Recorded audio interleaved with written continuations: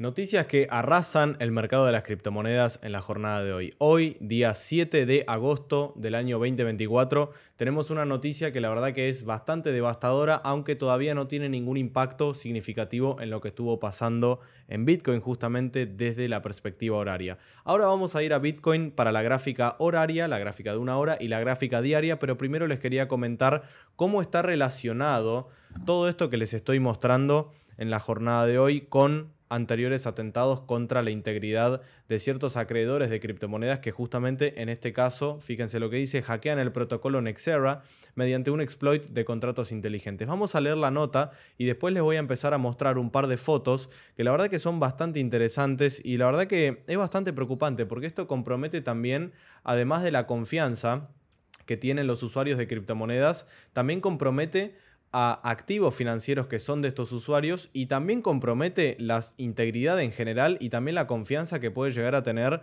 eh, por ejemplo, Estados Unidos o gobiernos, instituciones en general que tienen pensado tomar acción eh, positiva con respecto al movimiento de las criptomonedas, como sería tomar el 5% y convertirlo a Bitcoin, por lo menos por parte del Tesoro de los Estados Unidos. También El Salvador, que está interactuando con criptomonedas constantemente, que tiene un montón de cuestiones legales que van alrededor de las criptomonedas. Argentina también tomando eh, posición frente a lo que es eh, las criptomonedas. O sea, todo esto es bastante comprometedor, pero sin ir a digamos, conjeturas, quiero que leamos entre todos qué es lo que estuvo pasando, que la verdad que es muy interesante. Fíjense, el protocolo Nexera ha sufrido un exploit de activos digitales valorados en 1.5 millones de dólares, lo que constituye otro incidente de seguridad de contratos inteligentes. Recordarán que también la plataforma WazirX, que es justamente la que menciona ahí abajo, un poquitito más abajo, ha sido hackeada por 230 millones de dólares, que esto es un exchange, ya no es simplemente un protocolo, es un exchange, son personas, son usuarios, somos nosotros registrándonos en una plataforma, nos ponen a nosotros en riesgo nuestros datos personales y además nuestras finanzas, que si son las últimas y las estamos invirtiendo en criptomonedas, que ya de por sí está mal, pero por ejemplo, eh, una familia, un usuario, un amigo tuyo, un hermano mío, una hermana, lo que sea, cualquier tipo de familiar que haya que haya estado involucrado en este tipo de accidentes, la verdad que brinda mucha desconfianza en realidad a todo el entorno de criptomonedas y que sea tan sencillo como que una persona solamente, porque encima como actor social en esta nota ponen a una sola persona, un solo individuo que encima tiene conexión, pero esto ya lo vamos a, seguir hablando un poquitito más adelante. Todavía nos queda pendiente el análisis de Bitcoin, que ya lo vamos a hacer, pero les quería traer esto primero porque la verdad que es muy grave. Sin empezar a mezclar detalles, vamos directamente a esto. Fíjense. Nexera, un protocolo de finanzas descentralizadas, DeFi, que pretende tender un puente entre DeFi y las finanzas tradicionales, algo bastante popular en los protocolos, justamente intentando como desafiar a esa política que dice o finanzas tradicionales o DeFi. Bueno, en este caso tenemos una mezcla entre los dos, ¿ok? Fue hackeado por 1.5 millones de tokens eh, en Nexera, según el post, este, de NX, o sea, en Twitter, del 7 de agosto en Cybers, que escribió, nuestro sistema ha detectado una transacción sospechosa relacionada con su contrato proxy. Esto es más un tecnicismo de lo que serían los smart contracts o los contratos inteligentes. No vamos a profundizar en eso, simplemente como para repasar. Una dirección tomó posesión de su contrato proxy y lo actualizó. Poco después, la dirección utilizó la función retirar admin para transferir todos los tokens de Nexera. ¿Ok?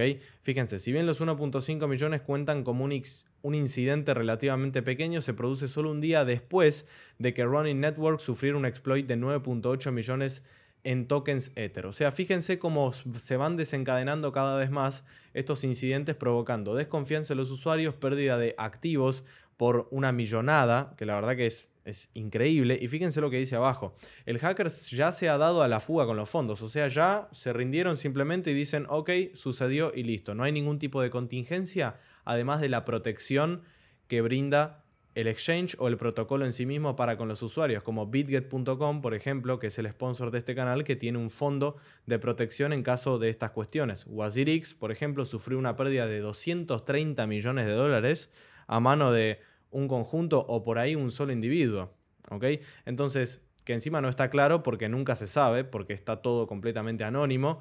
Eh, lo único que tenemos es la data on-chain que dice lo que, lo que pasa y listo, nada más, no sabemos quiénes son los actores sociales, no tenemos ni un sospechoso, o sea que peligroso todo el asunto, ¿ok? Peligroso. Les quiero volver a repetir que tienen en, el, en la descripción de, este canal BitGet, una, un exchange que justamente no le va a pasar esto porque tiene un activo, un fondo perdón, de activos que justamente viene a respaldar todas estas situaciones. Tienen un programa de contingencia, no hay ningún tipo de problema con eso. Más allá de que puede llegar a suceder esto, incluso este, tienen aún más recursos como para poder sustentar alguna falencia como estas. Claramente los exchanges que están en el top no van a tener este problema o por lo menos esperaría que no lo tengan, así que de eso se pueden quedar completamente tranquilos. Vamos a ir un poquitito más hacia abajo y les voy a mostrar, eh, voy a intentar hacer que quede bastante bien entre lo que es la noticia y mi cara. Les voy a mostrar en el medio o en algún lugar de la pantalla cómo es que está conectado este hacker de Nexera con exploits anteriores. Fíjense la increíble conexión que hay entre direcciones y fíjense lo que dice, el hacker de Nexera está conectado a exploits anteriores. Este no es el primer incidente malicioso causado por el explotador, que justamente es el mismo porque por la data on-chain se puede llegar a traquear algo dentro, digamos, del entorno de las criptomonedas. No hay identidades, no hay ningún sospechoso en particular como ser humano o como institución, simplemente es esta imagen que es la conexión entre todas las direcciones que han causado esta cantidad de exploits. Y fíjense lo que dice aquí, el atacante está conectado on-chain a incidentes recientes de compromiso de claves privadas como Space Catch, Concentric Finance, OKX, Decentralized Exchange, o sea, lo que sería eh, la plataforma de exchange descentralizado de OKX, que está atado a OKX, justamente la institución que es la sede central, lo que sería el Centralized Exchange, el exchange centralizado, Serenity Shield, Reach, y muchos más. ¿ok? Así que aquí finaliza la historia. Eh, muy importante lo que estamos viendo. Por cierto, si se quieren ir a suscribir a todo lo que es, eh, digamos, las investigations de este muchacho, eh, Zach XBT, perdón. Este es un muchacho que justamente tiene un canal de Telegram con muchísimos suscriptores y que tiene la cualidad principal de revisar data on-chain y empezar a hacer análisis y hacer investigaciones justamente para sacar en cara un poquitito y dar a conocer todo lo que es, em, digamos, las noticias de último momento con respecto a explotadores, atacantes y hackers en general dentro del ámbito de las criptomonedas. Una vez que ya cerramos con este tema, que la verdad que es bastante triste, tenemos noticias interesantes para Bitcoin y justamente en base a lo que estuvo sucediendo en las últimas horas por la tendencia alcista que estuvimos notando. Ustedes recordarán que en los análisis anteriores nosotros eh, estuvimos hablando perdón, de una cierta condición dentro del mercado que propone lo siguiente. Y déjenme que voy a pasar la cámara para el otro lado, así lo tenemos muy cómodo. Bueno, y ahora que estamos del otro lado, justamente como para poder empezar a ver los precios del lado derecho de las pantallas de ustedes, fíjense qué interesante lo que estamos viendo. Desde la gráfica horaria, que ahora podemos hacer un repasito pequeño para la gráfica diaria, pero por lo menos desde la gráfica de una hora nos estamos dando cuenta cómo tiene una baja significativa, un nuevo quiebre hacia abajo, toma la liquidez en este sector, que si nos vamos ahora sí hacia la gráfica diaria nos damos cuenta que toma liquidez en este punto y toma liquidez en este punto, por lo tanto la absorción va a ser de forma alcista, por lo tanto todos los que entraron en short acá ya se absorbieron y justamente lo llevaron para el lado contrario, hicieron saltar los stops y toda la liquidez en este sector se convirtió en liquidez alcista, que justamente no está teniendo muchas intenciones de irse abruptamente hacia arriba, aunque tranquilamente ya se puede confiar en que esto es una tendencia alcista. Más allá de lo que pueda llegar a suceder después, en este preciso momento se encuentra en una tendencia alcista. Y les voy a explicar qué es lo que tiene que suceder para que esto siga siendo así y simplemente eh, seguir con la perspectiva alcista. En caso contrario, también les voy a explicar qué tendría que suceder para que esto empiece a bajar y en qué momento podríamos empezar a sospechar de ello. Muy bien, vamos a hacer primero lo siguiente. Ustedes verán que aquí está el desarrollo alcista del precio. Fíjense qué interesante cómo se coloca Bitcoin en una posición de giro de estructura de mercado. Aquí yo se los voy a marcar.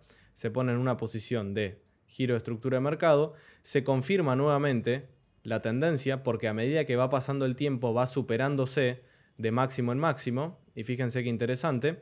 Ahora nos quedaría volver a superar este máximo de aquí. Lo que no me está gustando es que ya tiene intenciones de empezar a girarse hacia la baja y no me gustaría que pierda este swing low porque en todo caso estaríamos solamente pendiendo de lo siguiente.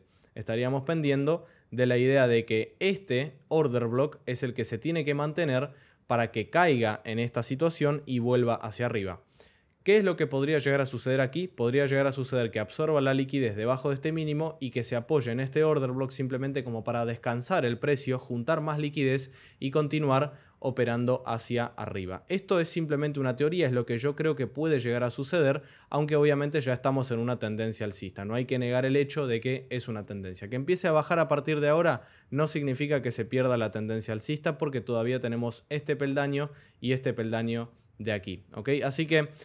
Como para concluir, la tendencia bajista en Bitcoin se confirmaría si perdemos este escalón de aquí, el order block este lo absorben y se va directamente hacia la baja, lo único que nos quedaría es este mínimo y ya nos quedaría irnos hacia este sector.